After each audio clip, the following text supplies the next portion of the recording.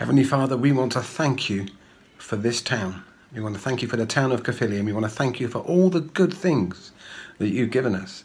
Uh, this amazing creation, the mountains, the trees, and everything else, the wildlife um, that perhaps we've learned to appreciate more this year. We want to thank you most importantly for the people, the families, the communities, and all the opportunities we have uh, in this town um, in this year. Would you help us to be a blessing to this town, Caerphilly, your town, this year?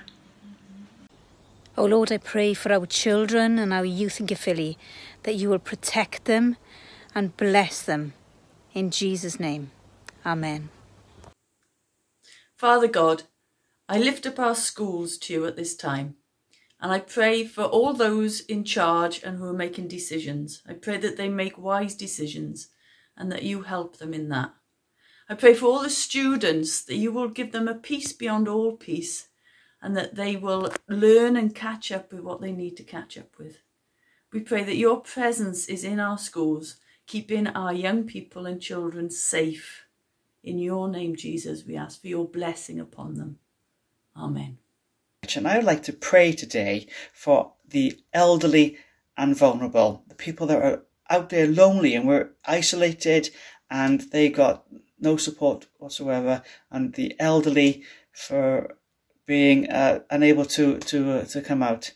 Would you please, Lord, watch over these people? Would you please comfort these people and and come hold them, embrace them, Lord, with your love and guide them and, and keep them safe, Lord, in this lockdown. Amen. Lord, thank you that your word says that you are our refuge and strength, always ready to help in times of trouble. Lord, I pray for those people in our community that have got symptoms of or have got coronavirus, that they will know that you are always ready to help them in their time of trouble. And Lord, I pray for the healthcare staff, whether they're in the hospital or whether in the community, whether they're doctors and nurses or whether they're ancillary staff, Lord, I just pray that they will know that you are their refuge and strength, always ready to help them in their time of trouble. Thank you, Lord. Lord, we pray for all the businesses and all the families that are really struggling to deal with all the changes we're facing on a day to day basis, Lord. Those that really don't know what tomorrow is going to bring. And we just pray that you bring them wisdom and strength to get through each day, Lord. In Jesus' name. Amen. And Lord Jesus, I want to thank you for your love. And I want to thank you that you came to this earth and you gave your life for us. Especially today, we want to thank you for the promise that you left us in your word that absolutely nothing, neither death nor life, neither our fears for today or our worries for tomorrow, not even this coronavirus and anything of its effects can separate us from your amazing love, Lord Jesus.